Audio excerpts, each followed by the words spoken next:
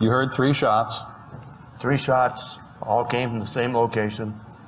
Uh, Evenly spaced or different? No, the first, I didn't hear the second shot, so I only heard two shots. First shot came from my right rear.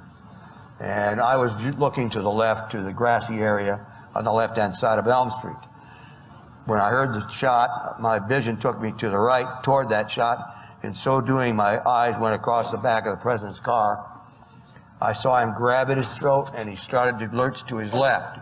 Didn't move too far, but he started going to his left. I knew something was wrong. So I jumped off the car and started to run for the presidential car, trying to get there in time to get up on top to cover, because what we try to do is cover and evacuate. And I was trying to get there to cover up so that nobody could do any further damage to the president or to Mrs. Kennedy.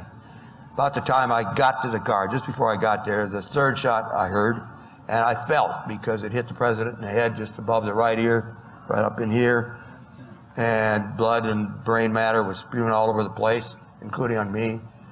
About that time, Mrs. Kennedy came out of her seat, up and onto the trunk of the rear, of the car.